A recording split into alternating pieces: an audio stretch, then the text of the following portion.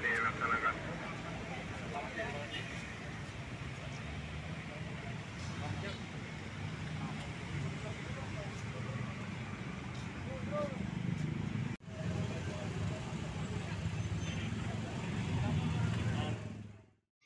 Giat hari ini kita tindak lanjut dari adanya kegiatan pembangunan toilet dari Dinas Sumber Daya Air.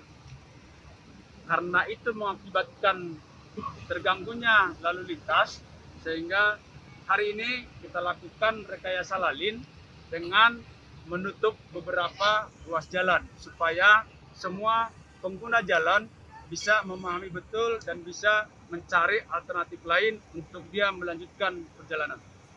Ini akan dilakukan sampai kapan, Pak? Uh, pekerjaannya sampai dengan Desember tahun 2022. Penutupan ini 24 jam atau memang ada waktu-waktunya khusus, Pak?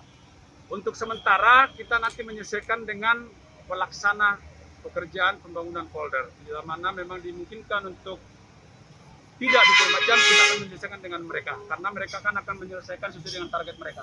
Oh, tapi sampai saat ini masih 24 jam gitu Untuk ya, Pak? saat ini masih karena baru permulaan. Nanti kan alat beratnya juga akan masuk di lokasi ini sehingga perlu penutupan yang kita lakukan sesuai dengan jam kerja mereka melakukan kegiatan di lokasi ini. Pak, ruas jalan yang ditutup bisa disebutkan, Pak, di mana aja, Pak? Eh, ruas jalan yang ditutup yang jalan Arta Gading Selatan. Ini ditutup mengarah ke sini. Arta Gading Selatan ditutup sehingga yang bisa dimungkinkan hanya yang bisa masuk akses ke Mall Arta Gading. Yang kedua, Boulevard Arta Gading yang ini ditutup sehingga dia tidak bisa langsung ke Yosudarso tapi dia berputar ke jalan Arta Gading Selatan baru dia masuk ke Yosudarso.